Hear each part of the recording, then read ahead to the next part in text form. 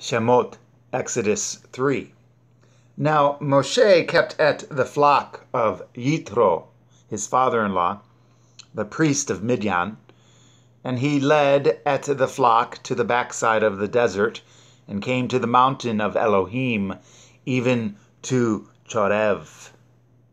And the angel of Yahuwah appeared unto him in a flame of fire out of the midst of a thorn bush. And he looked, and behold, the thorn bush burned with fire, and the thorn bush was not consumed. And Moshe said, I will now turn aside and see at this great sight why the thorn bush is not burnt. And when Yahuwah saw that he turned aside to see, Elohim called unto him out of the midst of the thorn bush and said, Moshe, Moshe. And he said, Here am I. And he said, Draw not nigh hither, put off your shoes from off your feet. For the place whereon ye stand, rather, whereon you stand, is holy ground. Moreover, he said, I am the Elohim of your father, the Elohim of Avraham, the Elohim of Yitzchak, and the Elohim of Yaakov.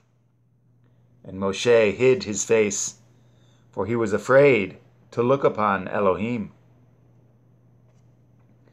And Yahuwah said, I have surely seen at the affliction of my people, which are in Mitzrayim, and have heard at their cry by reason of their taskmasters, for I know at their sorrows. And I am come down to deliver them out of the hand of the Mitzrayim, and to bring them up out of that land unto a good land and a large, unto a land flowing with milk and honey, unto the place of the Kinaim and the Chittim and the Amorim and the Perizim and the Chivim and the Yevusim. Now therefore, behold, the cry of the children of Yasarel is come unto me. And I have also seen at the oppression wherewith the Mitzrayim oppress them. Come now, therefore, and I will send you unto Pharaoh, that you may bring forth my people at the children of Yasarel out of Mitzrayim. And Moshe said unto Elohim, Who am I that I should go unto Pharaoh, and that I should bring forth at the children of Yasharel out of Mitzrayim?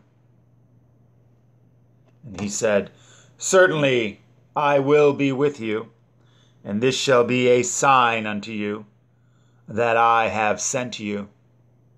When you have brought forth at the people out of Mitzrayim, Ye shall serve at Elohim upon this mountain. And Moshe said unto Elohim, Behold, when I come unto the children of Yasharel, and shall say unto them, The Elohim of your fathers has sent me unto you, and they shall say to me, What is his name? What shall I say unto them? And Elohim said unto El Moshe, Ehyah, Asher Ehyah. And he said, Thus shall you say unto the children of Yasharel, Ehyah has sent me unto you.